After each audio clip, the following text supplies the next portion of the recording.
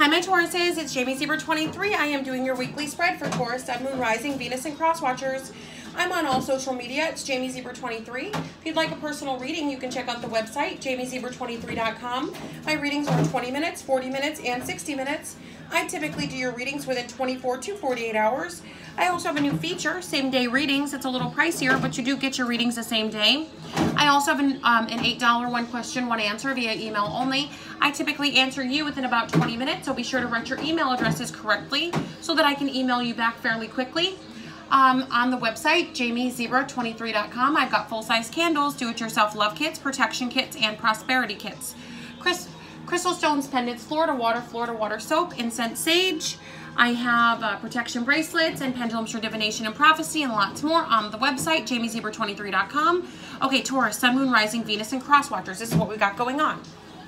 I feel like for some of you, you feel like you've taken a lot of losses. You're looking to like the past last year and you're thinking to yourself, you know, I kind of wish I would have played my cards a little differently because maybe then, um, you know, maybe things would have would be better now. Maybe if I wouldn't have made certain choices, you know, it's a, it's a judgment call now. So I feel like some of you are embroiled in some legal issues now um, that you can't get out of and you're not going to be able to get out of and you're just praying to, to God that maybe, you know, things will turn out for the best or a miracle will happen. Miracles happen every day, so don't give up.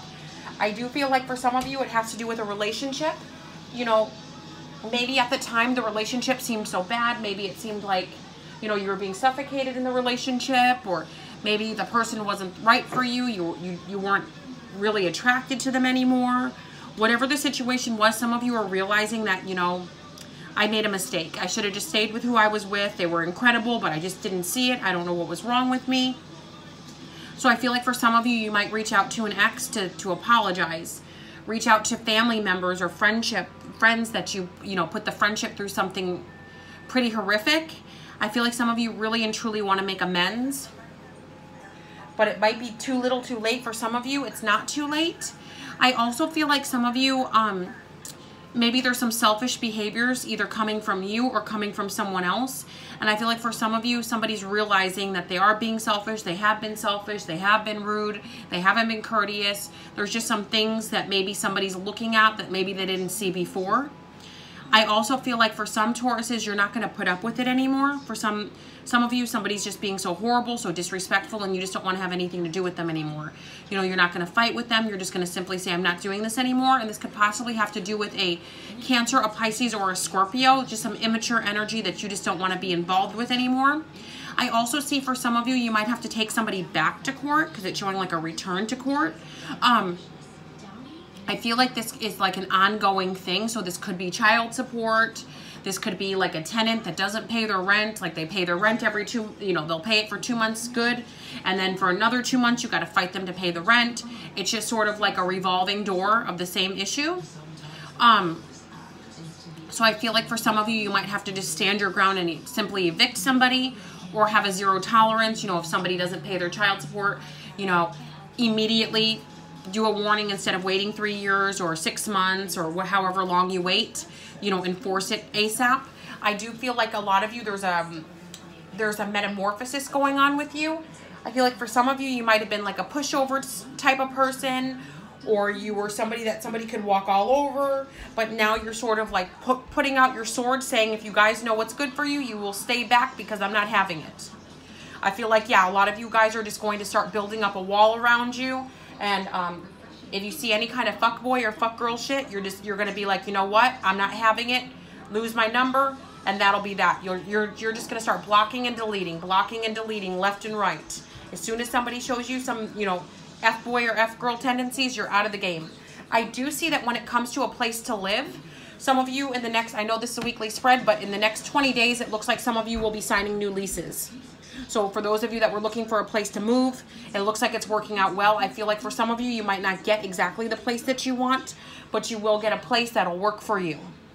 Um, Taurus, I also feel like there's a Gemini, a Libra, or an Aquarius person. There's two of them.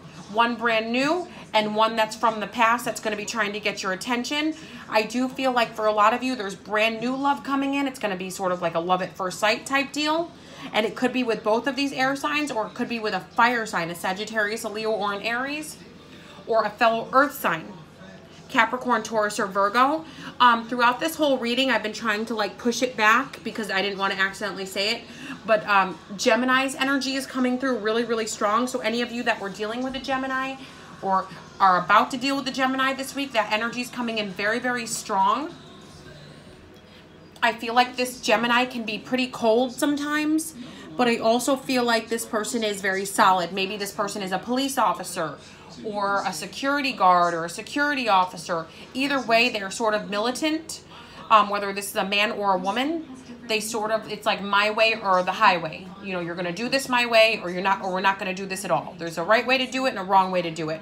Um, with both butterflies on these, both of these cards, I do see that, that if you're typically dealing with pushovers, that's not what's coming your way. You're, you're going to have a drill sergeant, whether it's a man or a woman, or this could be you taking on that energy. If you were, if you were typically an agreeable person, like, okay, I can do that. Oh, I don't mind. Oh, sure, I'll do that. Yeah, that's fine. I'll do it.